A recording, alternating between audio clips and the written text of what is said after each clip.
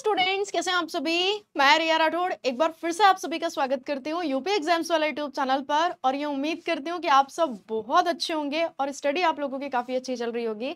आज का हमारा जो टॉपिक रहने वाला है वो जनगणना 2011 ठीक है? तो 2011 के सेंसस के ऊपर हम लोग डिस्कशन करेंगे और जितनी भी संभावना हो सकती है या जिस भी तरीके से क्वेश्चन आपका बन सकता है, उन सब पर हम लोग डिटेल में डिस्कशन करेंगे। पहले आप लोगों के लिए थ्योरी है, थोड़ा सा थ्योरी को इत्मीनान से समझिएगा, पाँच से सात मिनट और उसके बाद हम एमसीक्यू करने वाले हैं, ठीक है? तो क्योंकि थ्योरी से आपका थोड़ा सा कॉन्सेप्ट क्लियर हो जाएगा, फिर जब आप एमसीक्यू करोगे तो आपको चीज़ों को समझने में आसानी होगी। तो शुरू करते हैं, शुरू करते हैं, शुरू करते हैं, क्योंकि आप सब जानते हैं कि पढ़ते और सीखते हम लोग बहुत कुछ है और समय हमारे पास जो होता है वो बहुत कम होता है। आज वाला सेशन थोड़ा सा बड़ा हो सकता है, क्योंकि नंबर ऑफ़ क्वेश्चन ज़्यादा है और प्लस थ्योरी भी है। अब सबसे पहले हम लोग बात करते हैं सेंसस, या फिर जब हम बात करते हैं जनगणना के बारे में तो मुगल काल में अबुल फजल द्वारा रचित आईने अकबरी 1595-96 में जनगणना का उल्लेख मिलता है। अगर आप सेंसस की बात करोगे तो सबसे पहले आपको जो सेंसस के बारे में देखने को मिलेगा, वो कहाँ पे देखने को मिलेगा?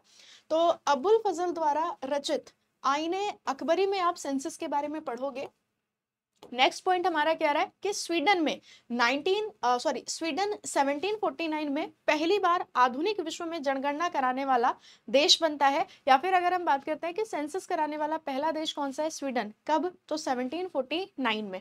अमेरिका 1990 में दशकीय जनगणना की शुरुआत करने वाला पहला देश बनता है। दशकीय का मतलब होता है दस साल। हमारे यहाँ पे तो दस साल में ही होती है। जैसे पहली नाइनटीन में हुई थी, फिर sixty one seventy one eighty one ninety one दो 2001 और 2011 अभी 2021 वाली होनी थी, लेकिन कोविड की वजह से हुई नहीं, है ना? तो डिले हो गया। आगे चलते हैं। भारत में जनगणना की शुरुआत 1872 में लॉर्ड मेयो के कार्यकाल में हुई थी। लेकिन अगर हम नियमित जनगणना की बात करेंगे तो भारत में नियमित जनगणना की शुरुआत 1881 में लॉर्ड रिपन के कार्यकाल में शुरू होती है।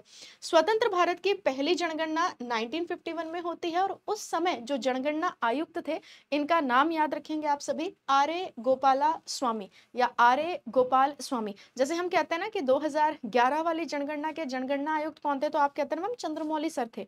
ठीक है? तो ठीक इसी तरीके से 1951 में जो जनगणना होती है तो आर ए गोपाल स्वामी, आपसे पूछा जाता है कि स्वतंत्रता के बाद जो सबसे नज़दीक वाली जनगणना है, ये कब होती है? तो मैम 1951 में ये होती है।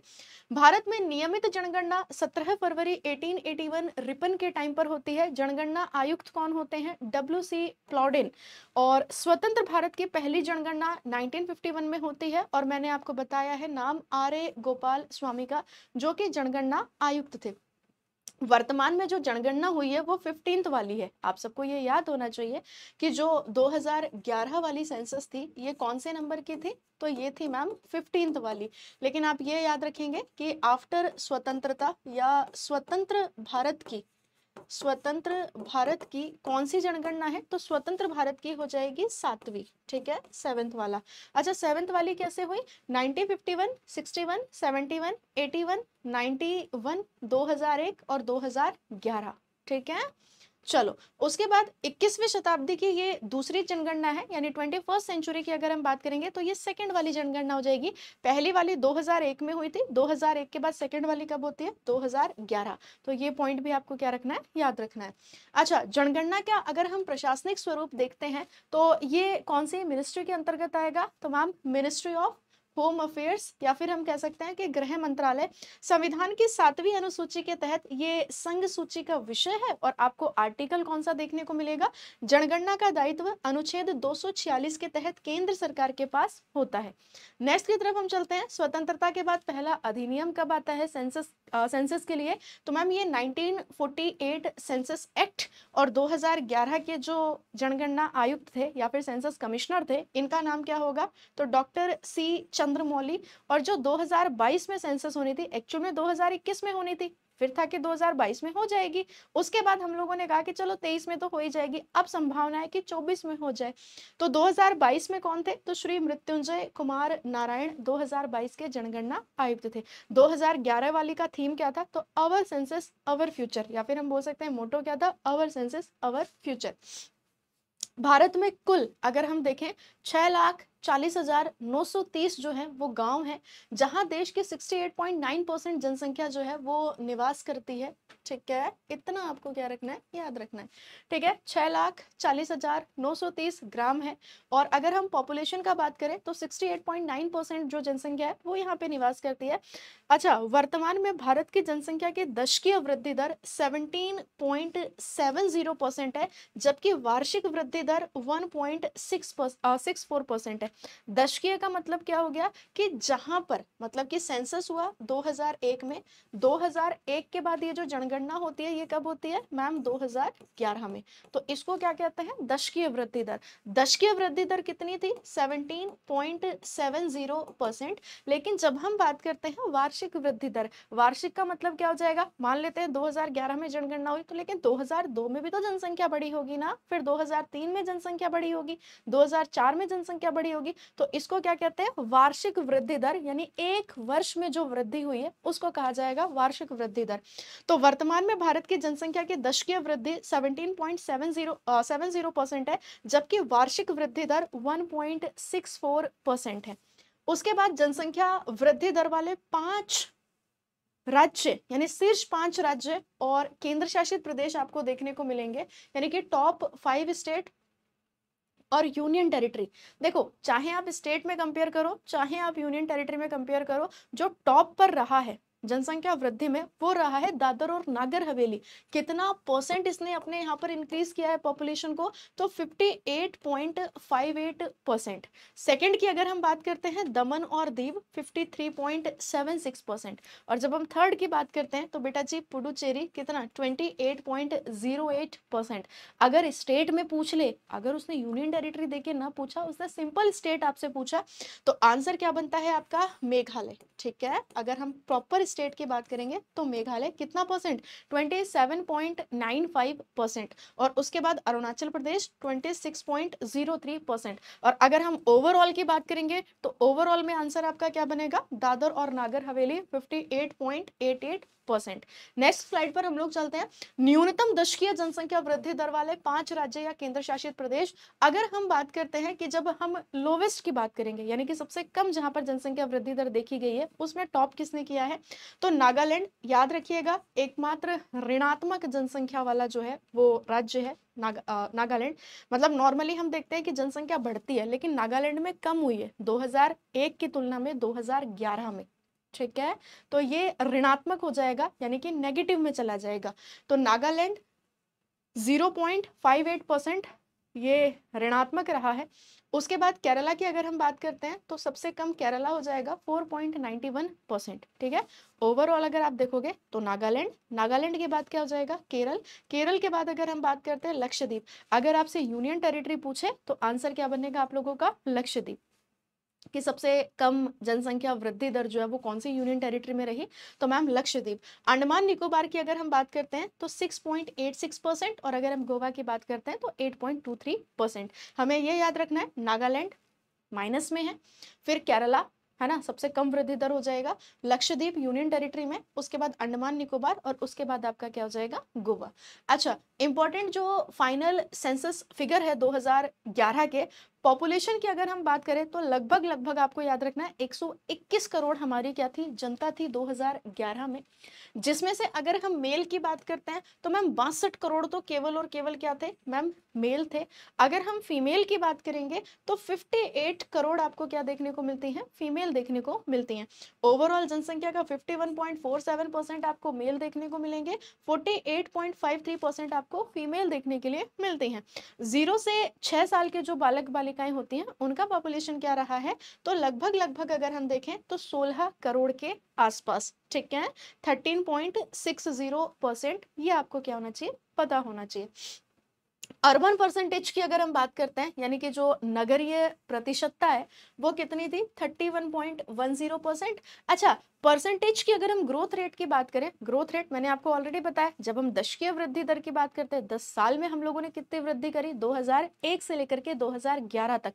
तो आंसर आपका क्या बनता है? 17.70 परसेंट। वहीं अगर हम एनुअल ग्रोथ रेट की बात करते हैं, यानी एक साल में हमने जो ग्रो किया है, वो कितना किया है? 1.64 परसेंट। अगर हम ओवरऑल लिटरेसी की बात करेंगे या साक्षरता की बात करेंगे भारत की तो वो कितना परसेंट रहा है? तो मैम वो रहा है 74.0 परसेंट।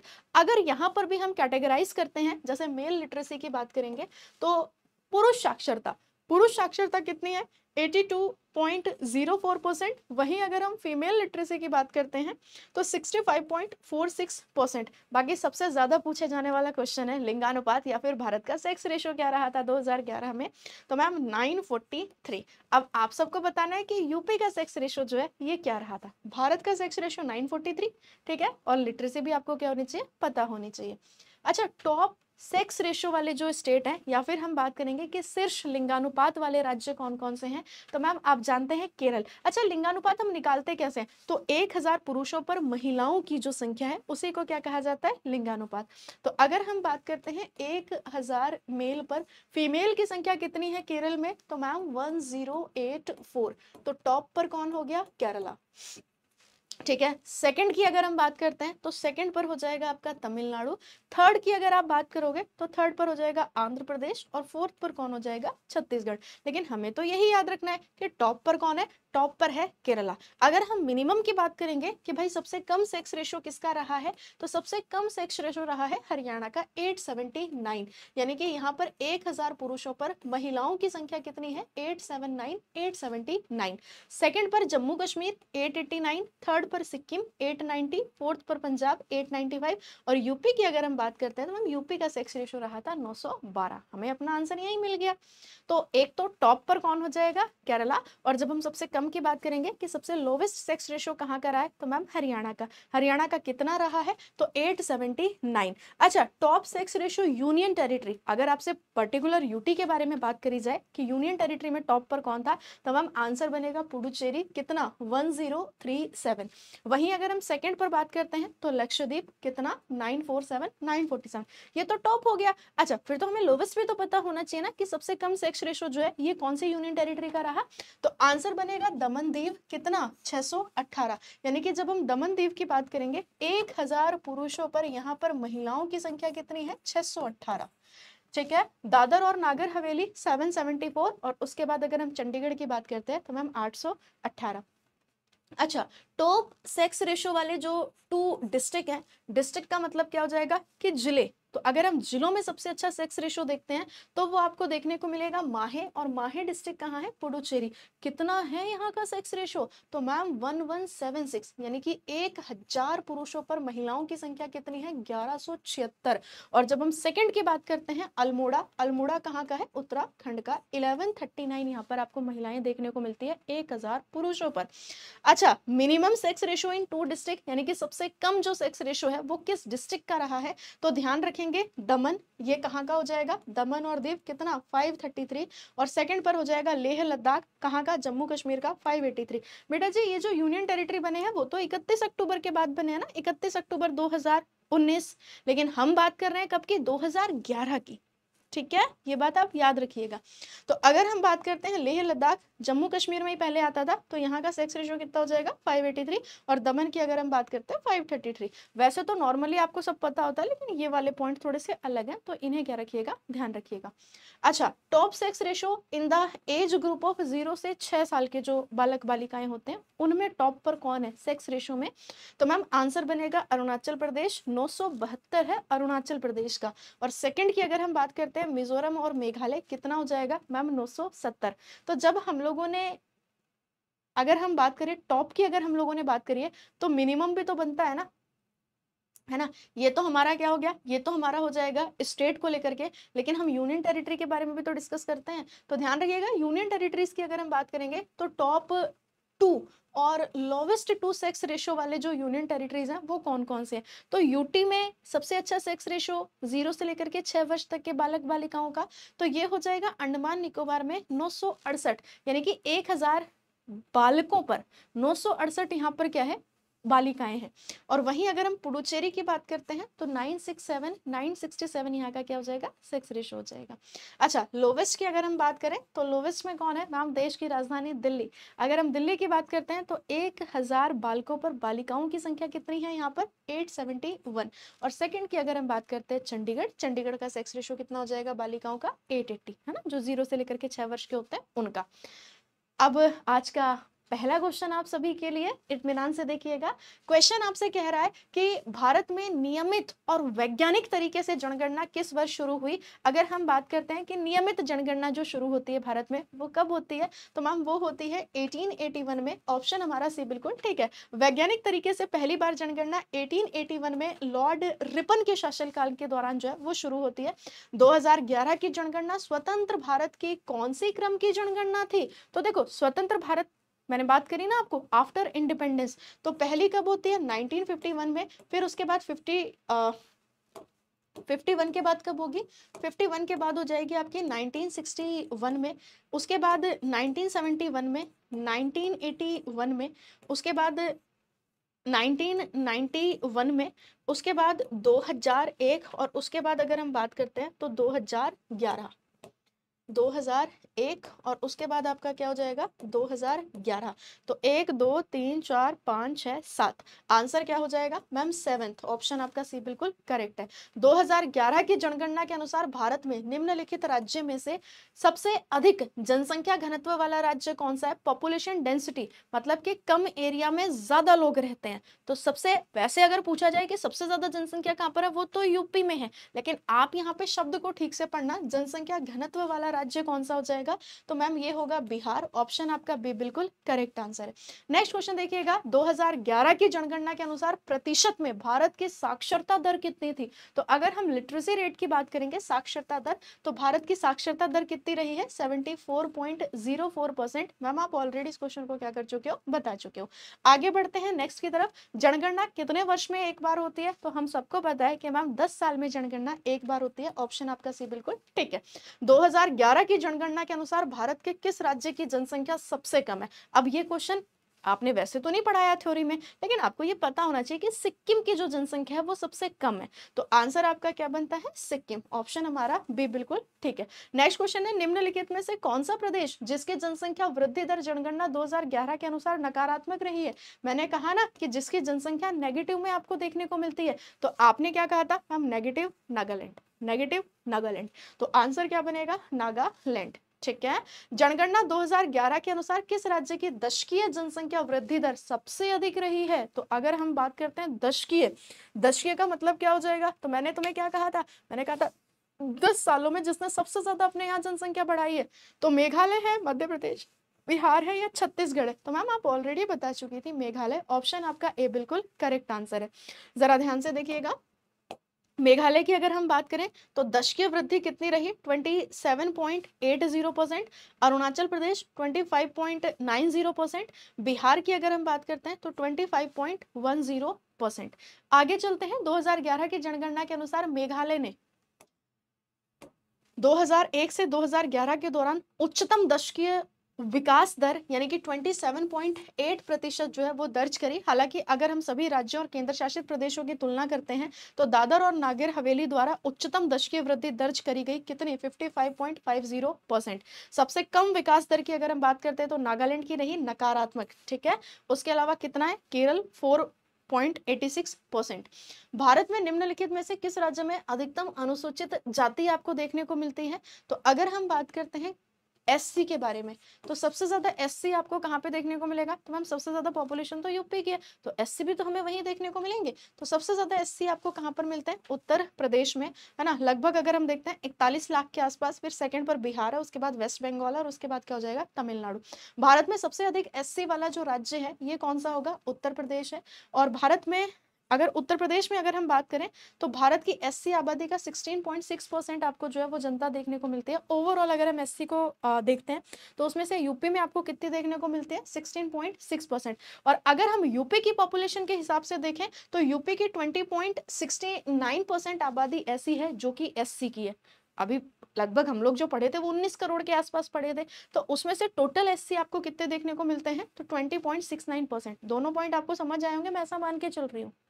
ठीक है? यहाँ पे लिखा है कि उत्तर प्रदेश में भारत की एससी आबादी का 16.6 परसेंट है। अगर हम इंडिया से कंपेयर करते हैं तो यूपी में 16.6 परसेंट है। लेकिन हम यूपी में ही अगर कंपेयर करें तो कितना हो जाएगा? 20.69 परसेंट उत्तर प्रदेश के सीतापुर ज़िले में अधिकतम एससी आबादी है। उत्तर प्रदेश के बागपत ज़िले में न्यूनतम एससी आबादी है। सोनभद्र की अगर हम बात करेंगे तो सोनभद्र में आपको कौन देखने को मिलते हैं? एस टी की जनगणना के अनुसार भारत में सबसे कम शहरी आबादी वाला राज्य कौन सा है? तो यानी कि यहाँ के अधिकांश जो लोग हैं, वो ग्रामीण एरिया में में रहते हैं, शहरों में कम रहते हैं। तो शायद मैंने आपको सुबह वाली मॉर्निंग सेवन एम वाली क्लास में भी बहुत बार कराया ये क्वेश्चन आंसर आपका क्या बनता है? हिमाचल प्रदेश ऑप्शन आपका डी बिल्कुल, ठीक है। हिमाचल प्रदेश 10.03 परसेंट ही जनता ऐसी है, जो कि शहर में रहना पसंद करती है या जो कि शहर में रहती है। बिहार की अगर हम बात करेंगे 11.29 परसेंट जनता ऐसी है, जो कि शहर में रहती है या शहर में रहना पसंद करती है। अगला क्वेश्चन है 2011 की जनगणना के अनुसार ग्रामीण भारत में लिंगानुपात क्या था? तो अगर जब हम लिंगानुपात की बात करते हैं तो यहाँ पर पूछा है कि लिंगानुपात दो हज़ार ग्यारह फाइनल डेटा के अनुसार लिंगानुपात क्या रहा था? तो मैम आप ऑलरेडी बता चुके हैं नाइन नेक्स्ट देखिएगा, दो की जनगणना जनगणना के अनुसार ग्रामीण का जो लिंगानुपात है वो 949 रहा और शहरों की अगर हम बात करते हैं तो 929 929 2011 की जनगणना के अनुसार निम्न में से कौन सी भारत की सबसे अधिक बोली जाने वाली लैंग्वेज है? लोग सबसे ज़्यादा जिस लैंग्वेज को बोलते हैं तो लगभग 40 परसेंट से अबाउ जो लोग हैं वो किसको बोलते हैं? हिंदी को बोलते हैं, हिंदी को पढ़ते हैं, हिंदी को लिखते हैं। जनगणना दो हज़ार ग्यारह के अनुसार किस संघ शासित प्रदेश की जनसंख्या वृद्धि दर सबसे कम है? तो भाई सबसे, मैंने कहा था यूनियन टेरिटरी में अगर आपसे पूछेगा तो पकड़ लिए जाओगे फंस जाओगे। तो जब हम यूनियन टेरिटरी की बात करेंगे कि जनगणना 2011 के अनुसार किस संघ शासित प्रदेश की जनसंख्या वृद्धि दर सबसे कम है, लक्षद्वीप, अंडमान निकोबार, दिल्ली, चंडीगढ़। मैम ऑलरेडी आप बता चुके हो लक्षद्वीप। तो आंसर आपका क्या बनता है? ऑप्शन है लक्षद्वीप। ठीक है? और कितना वृद्धि दर रहा है लक्षद्वीप का? तो सिक्स भारत की दो हज़ार ग्यारह की जनगणना के अनुसार सात वर्ष सात वर्ष और उससे अधिक आयु का व्यक्ति जो किसी भी भाषा में समझ के साथ पढ़ और लिख सकता है, साक्षर बना जाता है तो मैम सात वर्ष, एज क्या होनी चाहिए उसकी? सात वर्ष। नेक्स्ट क्वेश्चन है 2011 की जनगणना के अनुसार भारत में मुसलमान लोगों का कुल परसेंटेज कितना रहा है? अगर हम मुस्लिम लोगों को देखते हैं तो कितना परसेंटेज देखने को मिलेगा? फोर्टीन ठीक है? दो हज़ार ग्यारह की जनगणना के अनुसार मुस्लिम आबादी सेवनटीन करोड़ थी, जो देश की आबादी का फोर्टीन रही थी। दो हज़ार ग्यारह की जनगणना स्वतंत्रता प्राप्ति के बाद कौन सी हो जाएगी? ऑलरेडी हम बता चुके हैं, मैम ये सेवंथ वाली है। नेक्स्ट क्वेश्चन है, वर्ष 2011 की जनगणना के अनुसार निम्नलिखित राज्यों में से किस राज्य में स्त्री और पुरुष साक्षरता में सबसे अधिक अंतर है? यानी कि अगर हम बात करेंगे मेल लिटरेसी और फीमेल लिटरेसी तो सबसे लंबा जो डिफरेंस आपको देखने को मिलेगा, वो देखने को मिलेगा महारो राजस्थान। ऑप्शन आपका सी बिल्कुल करेक्ट आंसर है। 2011 की जनगणना के अनुसार केरल में कुल साक्षरता दर और महिला साक्षरता दर सबसे अधिक है, जबकि लक्षद्वीप में पुरुष साक्षरता आपको सबसे ज़्यादा देखने को मिलेगी। बिहार में कुल साक्षरता दर और पुरुष साक्षरता दर सबसे कम है। राजस्थान में महिला साक्षरता दर आपको जो है वो सबसे कम देखने को मिलेगी। दो हज़ार ग्यारह की जनगणना के आंकड़ों के अनुसार निम्न में से किस केंद्र शासित प्रदेश में महिला जनसंख्या, पुरुष जनसंख्या से अधिक है। अब बताओ जरा सारे के सारे। तो जब हम बात करते हैं कि अकॉर्डिंग टू 2011 की सेंसस तो इसके अनुसार किस केंद्र शासित प्रदेश में महिला जनसंख्या, पुरुष जनसंख्या से आपको अधिक देखने को मिलेगी? मैम, आप ऑलरेडी बता चुके हैं पुडुचेरी। आंसर हमारा क्या बनता है? ऑप्शन डी बिल्कुल करेक्ट आंसर है, पुडुचेरी। है ना? एक हज़ार सैंतीस यहाँ पर आपको महिलाएँ देखने को मिलेंगी, एक हज़ार पुरुषों पर। ठीक है। अगला क्वेश्चन है, क्षेत्रफल की दृष्टि से भारत का सबसे छोटा केंद्र शासित प्रदेश कौन सा है? तो अकॉर्डिंग टू एरिया लक्षद्वीप सबसे छोटा यूनियन टेरिटरी है। 2011 की जनगणना के अनुसार निम्नलिखित में से कौन सा जिला भारत का सबसे अधिक साक्षर जिला है? ये क्वेश्चन अच्छा है आप लोगों के लिए। अगर हम बात करते हैं कि जहाँ के लिटरेसी रेट सबसे अच्छी है डिस्ट्रिक्ट की अगर हम बात करेंगे तो आंसर बनेगा शेरछिप और ये कहाँ का डिस्ट्रिक्ट है? ये मिजोरम का डिस्ट्रिक्ट है। ठीक है, कहाँ का डिस्ट्रिक्ट होगा? तो मैम ये हो जाएगा मिजोरम का डिस्ट्रिक्ट अगर हम बात करें शेरछिप भारत के मिजोरम राज्य का एक शहर है। शहर ही तो पूछा है इन्होंने।